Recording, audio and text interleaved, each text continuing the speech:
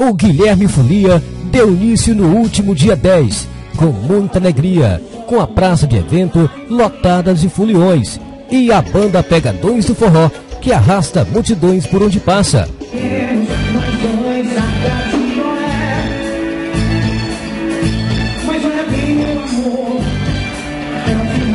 A cantora Mel que cantou e encantou o público presente, tocando em ritmo de carnaval.